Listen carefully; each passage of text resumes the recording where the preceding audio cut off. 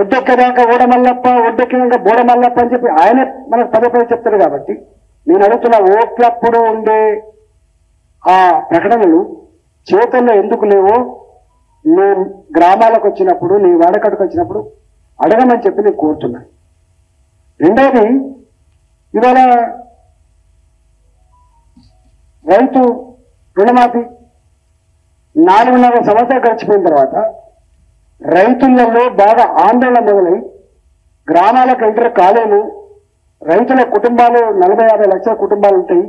నలభై యాభై యాభై లక్షల కుటుంబాలు అంటే సగం పాపులేషన్ వాళ్ళే ఉంటారు. మనకు మళ్ళా ఓటమి తప్పదన్న భయంతో రింగ్ రోడ్ వాళ్ళు కట్టిన రింగ్ రోడ్ని అమ్ముకుంటే వచ్చిన ఏడు వేల ఆరు వందల కోట్లు ఏడు వేల ఎనిమిది వందల కోట్లు. కోకాపేట ఆనాడు తాత సంపాదించిన ఆస్తి కొడుకులు మనవలు అమ్ముకున్నట్టుగా భూముల్ని అమ్ముకోవడం ద్వారా వచ్చిన డబ్బు కావచ్చు. మద్యం దుకాణాల టెండర్లు దశ జరుగుతాయి. కానీ రుణమాఫీకి పైసలు కావాలి కాబట్టి అడ్వాన్స్గా పైసలు కావాలి కాబట్టి అక్టోబర్ దాకా లేకుండా ఆగస్టు మాసంలోనే టెండర్లు పిలిచి ఒక షాపు రావాలంటే ఆ టెండర్ ఓపెన్ కావాలంటే ఇరవై దరఖాస్తులు అమ్ముడు పోకపోతే ఓపెన్ చేయమని చెప్పి నిబంధన పెట్టిండు.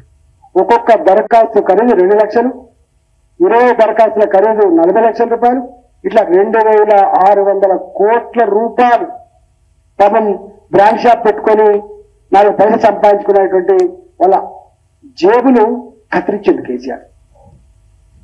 ఆ పైసలు వచ్చిన తర్వాత కూడా ఇవాళకి మొత్తం రుణమాఫీ కాలేదు.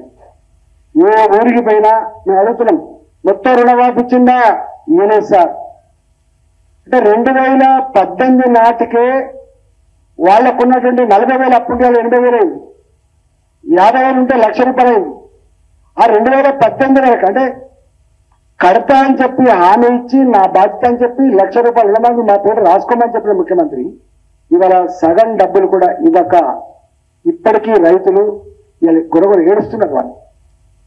దేశంలో బ్యాంకులకు ఎగవేసిన రైతులు ఎక్కడున్నారంటే తెలంగాణలో ఉన్న పరిస్థితి తీసుకొచ్చిన వ్యక్తి కేసీఆర్. ఇంకా చాలా ఉన్నాయి ఆయన గురించి చెప్పుకుంటూ పూర్తిగా ఉండదు కానీ ఫిఫ్టీ సెవెన్ ఇయర్స్ యాభై వేలకే పెన్షన్ ఇస్తా అని చెప్పండి. మొన్న నేను మాట్లాడినా మొన్న మాట్లాడిన. మాట్లాడినా అయ్యా మీరు యాభై వేలకే పెన్షన్ ఇస్తా అని చెప్పిండ్రు. పేదల ఇళ్ళలో అరవై ఐదేళ్ళు బతుకుతలేరు. బతికినప్పుడే జీవగంజి పోయాలని చెప్పి ఒక మంచి రూపంలో ఇచ్చాను మీరు. ఎందుకు ఇవ్వలేదు అంటే నేనే ఆపిన నేను ఇప్పటి తెలుస్తా అంటాడు. చివరికి భర్తలు చనిపోయిన వాళ్ళకు నాలుగేళ్ళ పెన్షన్ లేదు. మీరు ఏ ఊరికి పోయినా అడగండి. భర్తలు చనిపోయిన వాళ్ళకు గతంలో గ్రామ పంచాయతీలు కానీ మున్సిపాలిటీలో తీర్మానం చేసి అయ్యా ఇక ఈయన భర్త చనిపోయిండు ఈ భార్య భార్యకు పెన్షన్ మంచి చెప్పి తీర్మానం చేసి పెన్షన్ ఆటోమేటిక్ వచ్చేది. ఓ ఎంఆర్ఓ గారు దరఖాస్తు పెట్టుకుంటే ఓ ఆర్డీఓ గారు దరఖాస్తు పెట్టుకుంటే పెన్షన్ వచ్చేది. కానీ ఇవాళ గ్రామ పంచాయతీలకు కానీ మండల పరిషత్లకు కానీ ఇవాళ మున్సిపాలిటీ కానీ ఎవరికి కూడా పెన్షన్లు శాంక్షన్ చేసే తీర్మానం చేసే అధికారం లేదు. అంటే ఎందుకు ఇవ్వలేకపోతున్నాడు ఇవాళ? డబ్బులు లేవు ఇవాళ డబ్బులు లేవు ఇవాళ మరి కాంగ్రెస్ పార్టీ తన మేనిఫెస్టో ప్రకటించింది. మరి ఇవన్నీ తెలుసు. కాంగ్రెస్ పార్టీ ఇవాళ గ్రామాలకు పోతున్నప్పుడు కేసీఆర్ ఇచ్చిన హామీలు వాటి వైఫల్యాల గురించి మీరు మాట్లాడుతున్నారు. వాళ్ళే మాట్లాడుతున్నారు.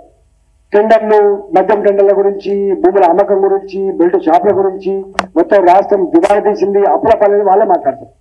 వాళ్ళే ఇవాళ మళ్ళా వాళ్ళే ఇవాళ మళ్ళీ అనేక రకాల హామీలు ఇస్తారు.